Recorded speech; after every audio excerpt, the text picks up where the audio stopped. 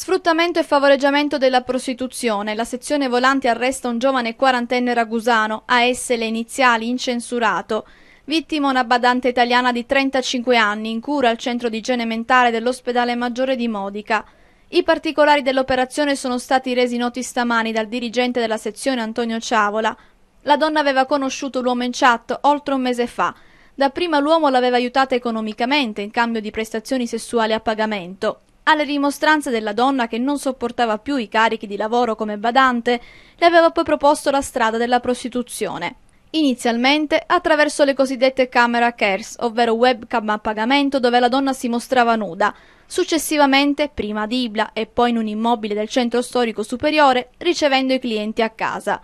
L'uomo, secondo quanto ricostruito dagli agenti della sezione volanti, aveva allestito ben 15 bacheche virtuali, dove oltre a proporre le prestazioni a pagamento della giovane donna, forniva una serie di consigli ai clienti per evitare disagi e proteste da parte dei vicini, disturbati dal via vai dei clienti. La situazione era però degenerata lo scorso 29 marzo.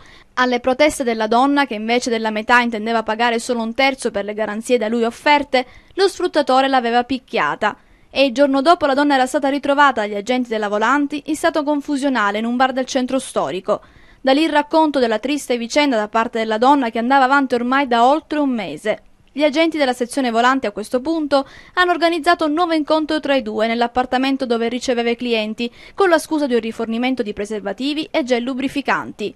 Appena giunto nell'appartamento l'uomo ha trovato ad attenderlo gli agenti. Il quarantenne ha ammesso le proprie responsabilità e ora è agli arresti domiciliari. Noi sottolineiamo il fatto che siamo riusciti a conquistare la fiducia di questa donna e lei ha rotto il silenzio eh, denunciando appunto i fatti di cui era eh, succube e chiaramente subiva eh, nel dover eh, fornire diciamo, queste prestazioni sessuali a pagamento ehm, dove chiaramente doveva dare parte del compenso, addirittura la metà a quest'uomo appunto che l'aveva aiutata in tutti i modi diciamo, nel, nel, prostituirsi.